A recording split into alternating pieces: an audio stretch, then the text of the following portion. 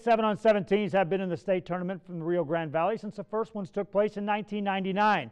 Some teams have made more frequent trips than others. Some haven't been there at all. Some, like the McAllen Memorial Mustangs, make a trip after a long period of not qualifying. It was 2002 they made their only trip, and as they are set to make another trip, they talked to me about getting their mindset and playing big football.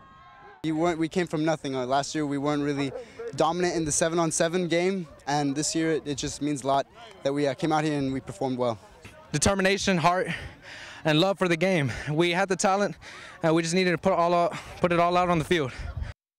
Here's a closer look at the Mustangs bracket. Arlington has been there more than any other in this pool, including last year. They made it to the championship bracket but fell in the first round. Cy Ranch is here for their second time as they made it back in 2013. There's Memorial's Mustangs now having two trips in the books.